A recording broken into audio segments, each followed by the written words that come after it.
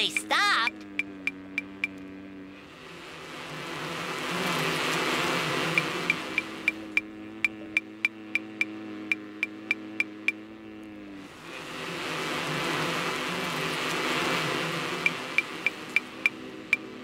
Gary, don't stop shaking it.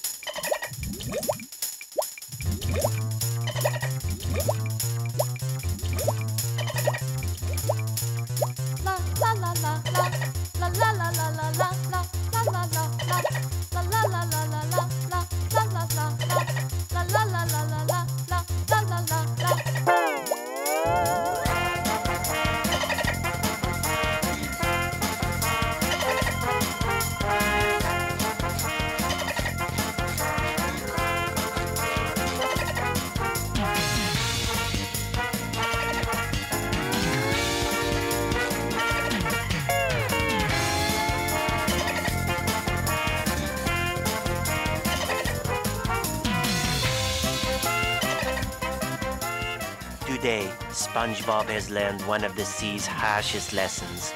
Wild animals can throw very wild parties. Ah. Oh, I felt that.